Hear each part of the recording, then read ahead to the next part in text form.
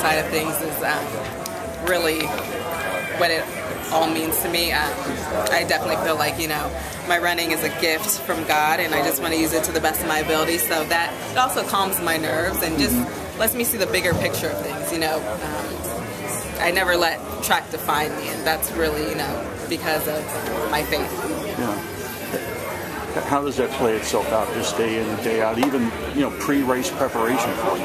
Um, you know, I feel like my training is just, you know, like anybody else's. I just, I feel like it's more of a, you know, a mental state and, um, you know, just kind of what I see, the bigger picture of things. And of course, you know, I pray to get through workouts and just um, on a daily basis, but um, it's, it's more about the bigger picture. Training with your coach, um, in comparison to the last Olympic Games, are what are there any changes, anything new that you're doing to prepare for London? Um, it's just more.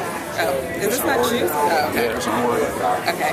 Um, training, it's just more intense. You know, with Bobby, he told me when I first came to him that each year was going to be a little more intense, and we had a, a really long-term plan. And so I feel like I'm definitely seeing that. Um, now I feel like I'm the strongest I've ever been and able to handle the workouts, you know, the best I've ever been able to. And so it's just a, a good place to be in.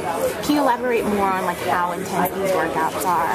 Um, well, for me right now, there it's more um, speed endurance, um, a lot of ballistic speed, a lot of technical things that when I was younger I just couldn't grasp. Um, now, you know, I'm stronger. I'm able to actually do the things that I've tried so long and so hard to do, and it just it makes sense more now. You said, something about having to deal.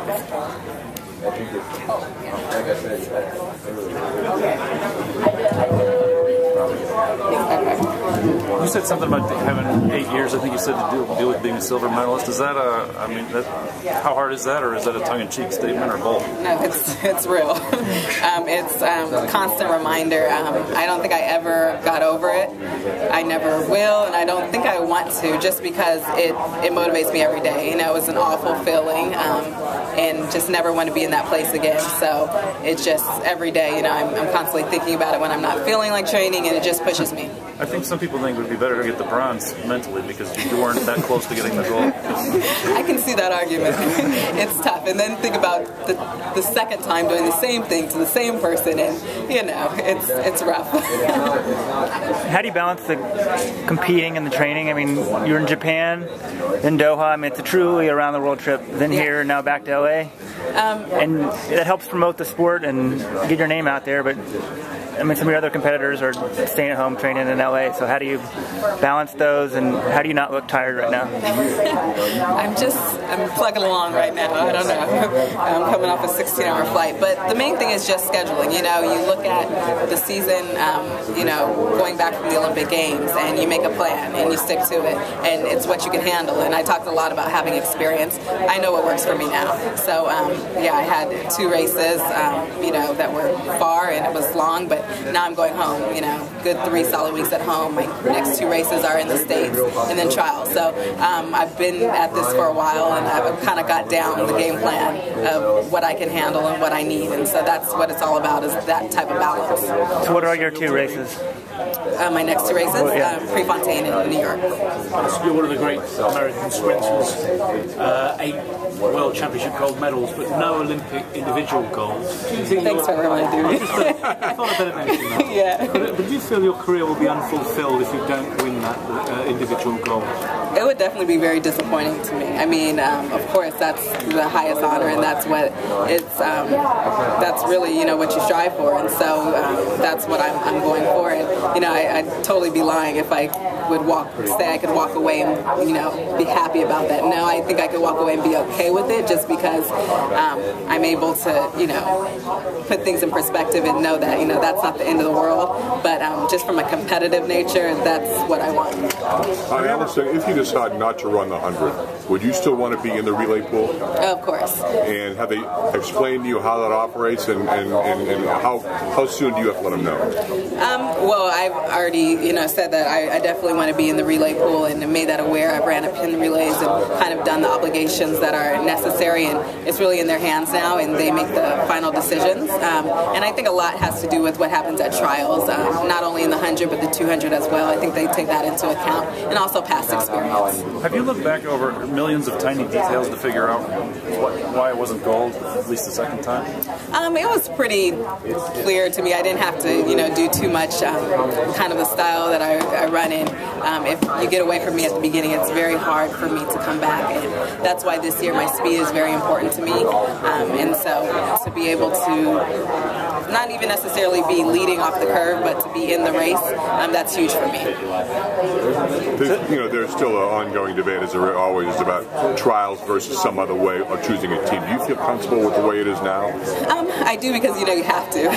you know, it's kind of a crazy thing because anything can happen on that day, and it makes you just a little anxious. You know, you don't about getting sick or just any little wrong feeling, but um, it is what it is. You have to be ready on that day, and I think just knowing that and having done it before makes you a little bit more comfortable with it. Now, so how many weeks are you training at this point, and has that changed? I mean, you said that Bobby said every year it was going to be more intense. Has that changed over the last four years? Um, you said how many weeks? How, how many hours a week? oh, how many hours? Um, right now we're right about four to five a day, um, and we're um, right now about five days a week um, normally, sometimes six, and it definitely has changed. Um, and it's not even just the time amount spent, but just the type of workouts and the volume of work and just um, the intensity, mainly from the sprint side. Do you think you've been hurt at all by having being, being good at too many things instead of just sticking with one? Um, I think it's a good argument. You know, I think um, sometimes you do spread yourself too thin, and um, yeah, I mean, I think that's it, it's hard about it. You know, it, but I think that um, it also makes it difficult when you know you have potential at something and you want to fulfill that. So for me this year, I just said, okay, the 200 is my main focus. Um, if I do another event, it's going to come second to that, and so that's how I've kind of um, worked it out. So the win in Doha. Athletics in the US was a dying sport. Um, what's your take on that? D- And do you personally think that you get enough credit for what you achieved? If you were if you were in Britain, you'd be an absolute superstar. Here, I, I- I sense you're in the second tier. The second, I think we're so we're Behind, down. behind the country's top sportsman. Oh yeah.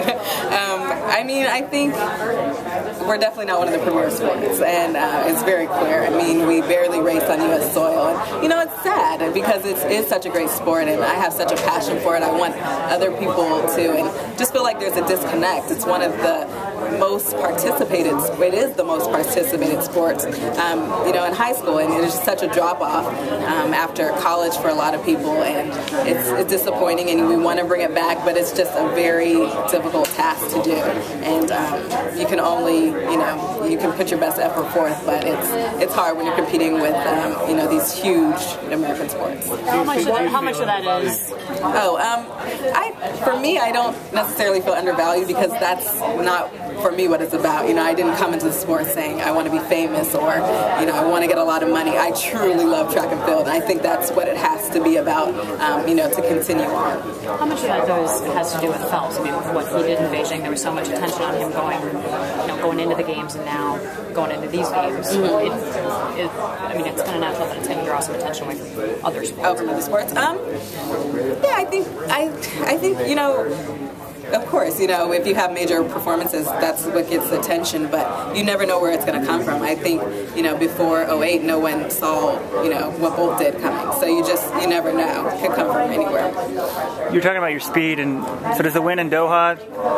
I mean, was that a surprise? But now that kind of opened up up the hundred. You know, if you do poorly there, then maybe you just stick the 200, maybe the 400.